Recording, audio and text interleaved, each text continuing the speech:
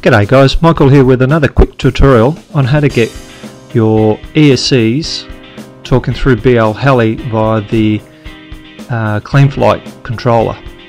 So I've kicked off the BLHeli suite 14.301 in this case and under the Atmel SiLabs interfaces I have selected the BLHeli bootloader CleanFlight.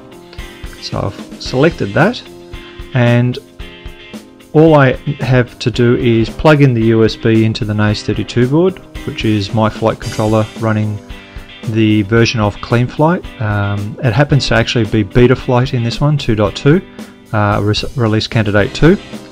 But um, if we look at the comms port, the system has detected that COM6 is the SiLabs driver, uh, so we just grab that, and by hitting connect, it's it's already connected um, by itself in this case, uh, we can talk to uh, each of the ESCs directly without having to pull them out or have a funky um, USB FTDI device.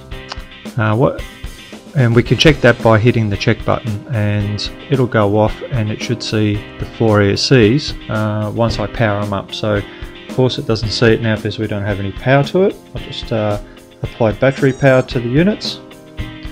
So we've got that we go OK and we hit check again. You can hear the beeps and there we go. So we see that the ESCs 1, 2, 3, 4 are seen. They're little bees and they're all running version 14.3 which is um, this one here which I happen to have just updated it. Um, I hope you found this tutorial very useful and if so uh, don't forget to subscribe.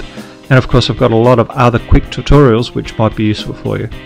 Uh, have a nice day and Talk to you soon. Cheers.